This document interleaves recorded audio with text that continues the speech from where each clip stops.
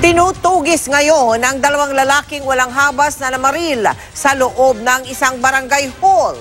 Natagpuan ang kanilang getaway vehicle na unang namataan doon kahapon. Nakatutok si Von Aquino. Sa CCTV makikita ang pagpasok ng dalawang lalaki sa gate ng barangay hall ng 190 Pasay mag-alas 3 na madaling araw kahapon.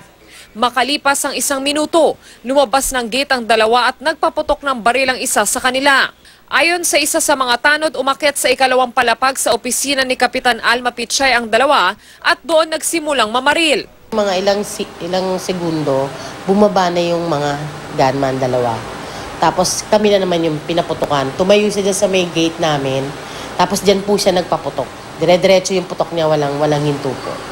Dito sa loob ng ah, barangay hall ay bakas pa yung mga tama ng bala.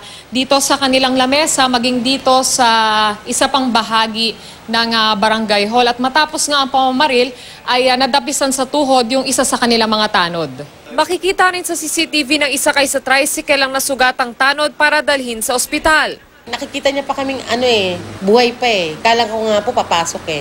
Awa ng Diyos, hindi naman po silang ah, pumasok. Nagkabasag-basag ang salaming pintuan ng barangay hall. May mga tama rin ang bala sa pintuan ng opisina ni Kapitan, sa pader at sofa.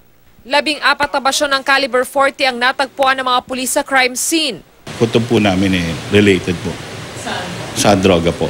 Ever since naman po, talaga naman pong aktibo ang barangay namin para sa pagsusukol ng mga ganyang problema.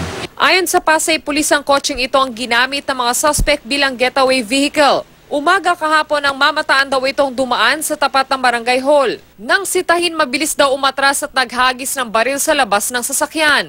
Nang matagpuan ng mga responding pulis ang kotse, abandonado na. Tukoy na ng Pasay Pulis ang pangalan at pagkakakilanlan ng isa sa mga suspect, pero hindi raw muna nila ito isa sa publiko. Von Aquino nakatutok, 24 oras.